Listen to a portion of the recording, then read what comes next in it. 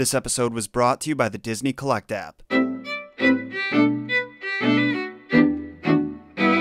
What is going on, my fellow mythology nerds? My name is Jon Solo, and in case you haven't figured this out by now, I really love the movie Hercules.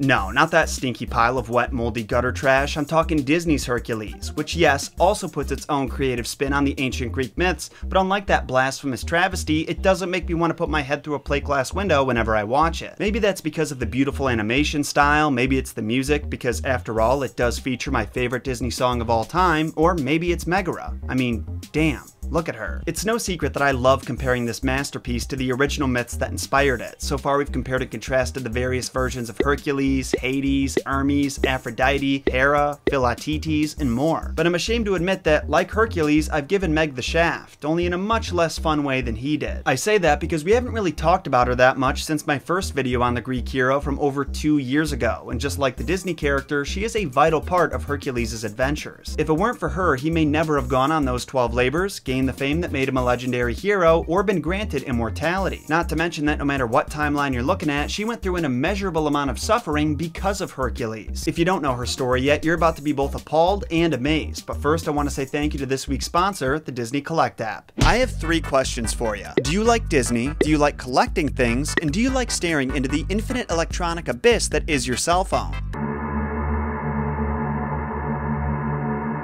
If you answered yes to any or all of these questions, then I have the app for you. The Disney Collect app gives you the ability to collect virtual trading cards with your favorite Disney characters on them. Whether it's the OG cartoons, your favorites from childhood, or their newer films, they've got characters from essentially any property you can think of. It's super easy to build your collection too. There's new missions for you to complete every day, and an arcade where you can earn bonus cards through making wishes. Then you can use the cards you collect to complete sets, craft them into rare cards, or even use them to trade with Disney fans around the world like me. And what's really dope is that we are partnering with Disney Collect to bring you a brand new Hercules set, but these aren't just your average cards. There's the Sinister Shadows Tilt variant featuring your favorite underworld residents, pottery die cuts, a very appropriate choice for Greco-mythological characters, and my personal favorite, the Sketches motion cards, where you can watch the illustrations take shape before your very eyes. This set was made exclusively because we knew the Solo fam would love them, so make sure you check them out. All you've got to do is follow my download link in the description, then find the Hercules Hercules collection in the central store. Then, when you've got yourself established, make sure to add me by searching Real Jon Solo and we can do some trading. Okay, let's dive into some mythological madness, shall we? Sit back, relax, hit that like button, and subscribe for more mythology content in your sub box on a regular basis, and most importantly,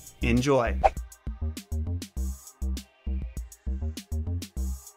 Now, for those who have forgotten her role in the movie, Megara is the pretty young thing that Hercules pines after. Little does he know, she actually is stuck working for Hades because she'd previously sold her soul to him to save the man she was in love with, who ultimately abandoned her. Hercules eventually finds out the truth and is heartbroken, but Meg sacrifices herself to save our hero, and Hercules returns the favor by saving her soul from Hades. These heroic acts result in Hercules being granted god status, but he turns it down in favor of staying with Meg on Earth, and the two live happily ever after. It's a beautiful story and one of my favorites that Disney has ever told, but the myth it was inspired by is far more tragic than that, so let's talk about why. Now, interestingly, despite Meg not being a Disney princess, which in my opinion is an unforgivable sin, she was actually the daughter of the king regent of Thebes named Creon. If you don't remember, Thebes is actually the city where Meg lures Hercules into fighting the Hydra, so there's a funny little connection right there. The reason her lineage is significant is because that's actually how she meets Hercules, who by the way, I'm going to call Heracles from this point forward because that was his actual Greek name. You see, when Heracles arrived in Thebes during his travels, he discovered they were being forced to pay tribute of 100 cattle every year to Urgen, the king of the Minyans, who inhabited the city of Orchomenus. Now, you may not think that's too hefty of a tribute, but what's really messed up about it is that the Minyans stripped the Thebans of all their weapons in order to keep them subordinate and make sure they never rebelled, so Thebes was helpless against its oppressors. Heracles, who was a good guy at heart, wasn't going to stand for the Thebans being treated so unfairly, so guess what he did? When the Minyan emissaries showed up to collect their tribute, tribute, he cut off their tongues, hands, and ears, tied them in bundles around their necks, and told them to give those to their king as tribute. I know, I was surprised they didn't put that in the movie too. As you would expect, King Creon was terrified of what Erginus' response would be, but Heracles told him to relax and let him handle it. First, he took all of the weapons and armor that were on display in their sacred temples and gave them to the Thebans. What I found really funny about this is that some experts cited him doing this as proof that Bronze Age customs were not upheld in the Hero Age, but others have pointed out that Heracles' behavior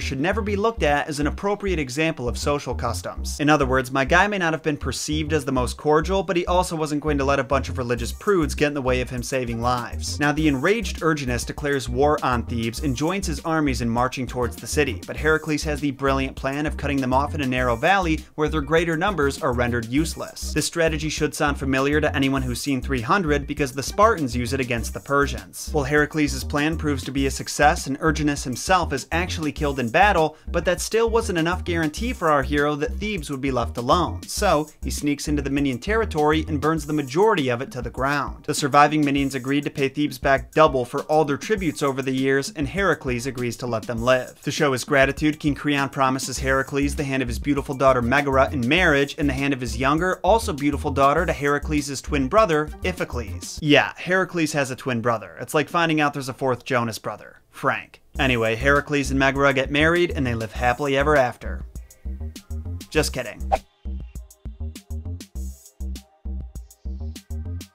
So after Heracles and Meg tie the knot, they get real, real busy and pop out a couple kids. The actual number and their names vary depending on the author, big surprise, but is usually said to be 2, 3, or 8. 3 is the most common figure thrown out there, but Theban tradition has always maintained 8, and that's where Meg lived, so I'm personally leaning towards that. There's also an interesting theory that says the reason authors like Euripides may have reduced it was to make writing and casting his plays easier. Weird how many random factors influence and shape these famous stories. Unfortunately, and you already know what's coming if you've seen my other videos on Heracles, their relationship takes a hard left turn for the worse when Hera, Zeus's wife, who is not a fan of her husband's bastard child, curses Heracles with a fit of madness. Once again, there's a few different ways that his meltdown unfolds, and I'm going to break down each of them. In one version, Heracles' cousin, King Eurystheus, who actually sits on the throne that Zeus had reserved for Heracles before Hera forced his cousin to be born two months early, learns of Heracles' growing power, either through word of mouth or Hera, and summons him to complete 10 dangerous labors. Understandably, Heracles says bump that. He's the son of a god and has already accomplished so much, why should he run errands for some king? That being said, he is is still legally obligated to follow his orders, so for guidance, he meets with the Oracle of Delphi to learn what the gods want him to do. In some versions, the Olympians all agree that he should do the labors, and in return, he'll be granted immortality, but in some versions, the Oracle is on Hera's payroll and only tells him that because it'll increase the chances that he'll die painfully. When he gets home, he prays to the gods to send them his own message, but while he's metaphysically exposing himself, Hera takes this opportunity to curse him with madness. This causes him to try and kill his nephew Iolaus, who escapes, and his two children, who don't escape. How does he kill them, you ask? Excellent question, you curious little weirdo. He either tosses his kids over the city walls, throws them into a fire, or shoots them with his bow and arrows. When he finally returns to his senses, he's so torn up by what he's done that he considers killing himself, but instead he atones for his sins by agreeing to complete the labors. In a different version, Heracles is praying to the gods, gets struck with madness, kills his kids, and then goes to the Oracle of Delphi to see how he can ask for forgiveness. And that is when she tells him to complete the labors, again because Hera's slipping her some deep $80 under the table. Both of these have endings where Megara is killed alongside her children and where she survives. She gets super killed in this next one though, like hardcore mega kill. and we have the Roman playwright Seneca the Younger to thank for the appetite-inducing imagery that accompanies her death. See, in this version, the massacre doesn't happen until Heracles has already completed 11 of his 12 labors. While he's away in the underworld completing the final one, capturing Cerberus, Megara's brothers and her father, King Creon, are assassinated by the formerly exiled warrior Lycus, who takes over the throne.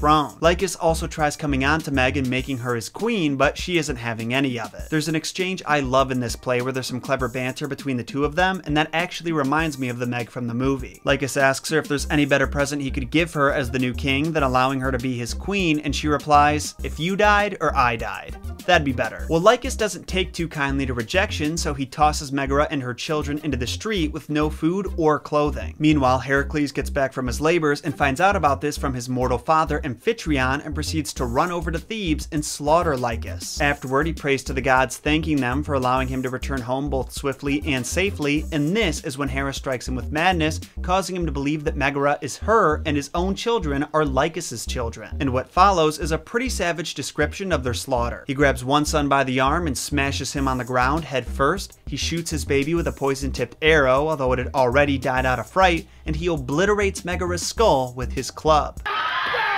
As the horrified Amphitryon kneels before him, begging him to kill him too, the mad warrior's eyes roll up in his head and he passes out. When he wakes up a few hours later, he looks around the room and realizes what he's done and almost immediately tries to kill himself with the same poison arrow he shot his son with. Only Amphitryon convinces him not to by pointing out that the only reason he did such horrible deeds was because Hera cursed him and wanted his hopeless suicide to be the end result. And even though Heracles argues that he deserves to be punished for his sins, curse or not, he relinquishes and agrees to atone atone. If you're wondering how he's supposed to atone when he's already completed his 12 labors, you're out of luck because that's when the play ends. Now I've got one last version that I really want you to hear. It was written by Euripides and is very similar to Seneca's. Once again, while Heracles is off completing his labors, Lycus usurps the throne, only Euripides clarifies this is actually the son of the Lycus who was exiled, so by killing Creon, he was avenging his father. When the hero gets back, he kills Lycus, but again, he's struck with madness while praying. He shoots one son with an arrow, smashes the other one with a club, and then tears apart the door that Megara and his infant son are hiding behind with his bare hands, and then kills them both by striking them with a piece of the wood. Then, just when he's about to kill Amphitryon, the warrior goddess Athena appears and smashes Heracles into a wall by throwing a boulder into his chest, and he's knocked unconscious. Naturally, Heracles is devastated and, like the other versions, wants to kill himself, but instead, Theseus convinces him to journey with him back to Athens where he'll be purified of his sins. For those who are a little confused, when Heracles was in the underworld, he rescued Theseus, therefore he felt compelled to repay his debt. So those are the many versions of Heracles' rage, and believe it or not, there's even more than that, but at that point the differences are so nuanced that I don't think it's really necessary for us to cover them. As it pertains to Meg though, she had one of two fates. She was either spared or brutally murdered. Regardless of the one you prefer, we do know what happens to her afterward, and that's what we're talking about next. So let's start with what happens to Meg after she dies, because that story is short and sweet. Well, maybe not sweet, but you know what I mean. Apparently, during King Odysseus' journeys, he saw Meg in the underworld. He doesn't really have much to say about her, but he does confirm that's where she ended up with the line, And Megara I saw, daughter of Creon, high of heart, whom the son of Amphitryon, ever stubborn in might, had to wife. Now, in the timeline where Megara lives, Heracles doesn't even stay with her, despite her waiting around for him to return and worrying that he may not even survive. There's actually poem called Megara by an anonymous Greek author that details a conversation she has with her mother-in-law Alcmene where she talks about how scared she is for his life. There's nothing else of significance in the poem, but it's an interesting read. If you want to check it out, there's a link in my sources section. Now as we all know, Heracles did survive his labor, so what do he do with Megara once he got back? Well, there's some timelines where he kills her, as I mentioned earlier, and there's others where he gives her to his cousin Iolaus, who actually helped him complete his labors. Those two went on to dent the headboard, and in the process had a daughter whose name name I bet you can't even pronounce. Leopiphiline? Leopiphiline?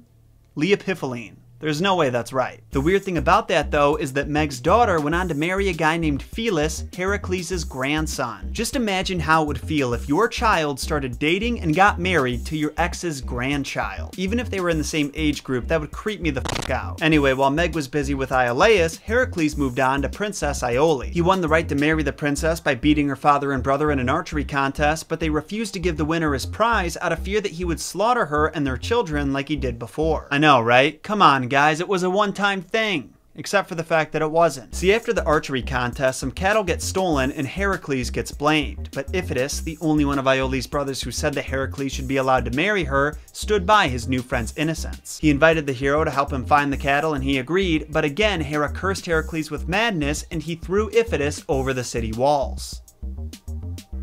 And that kills him in case that wasn't clear. With no other choice but to leave their city, Heracles goes to Calydon where he meets Princess Deianira and marries her and therefore obtains a kingdom and army for himself. After growing so much in status, Heracles then waged war on Oechalia as revenge for them denying his prize. He killed the king and his sons, and then he abducted Iole, who wasn't a fan of Heracles at this point. Now, remember the scene in the movie where Hercules meets Meg? She's in the process of being abducted by the centaur Nessus, who wanted her as payment for him joining Hades' team? Well, that scene was inspired by Hercules Hercules' wife, Deianira.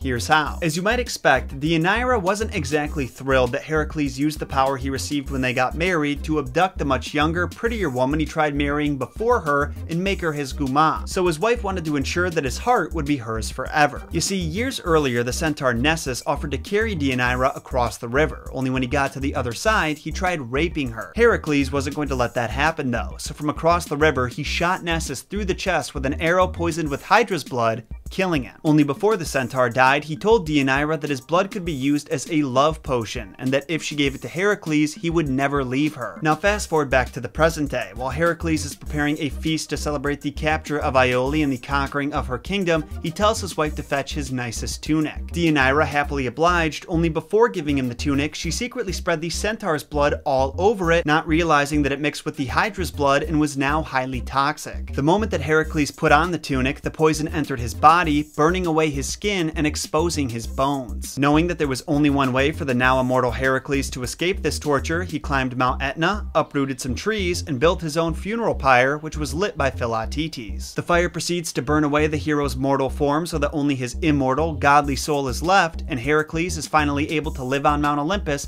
where he meets and marries Hebe, his half-sister. In my original video on Heracles, I misspoke and said he married Athena, and I will never forgive myself. 12 lashings for the mythology novice thank you. Anyway, Solo fam, those were the messed up origins of Megara and the story Disney wrote for her. Got any thoughts? I feel like this was a weird one because as important of a character as Meg is in Heracles' story, she really didn't do all that much, rather things happened to her. Ah!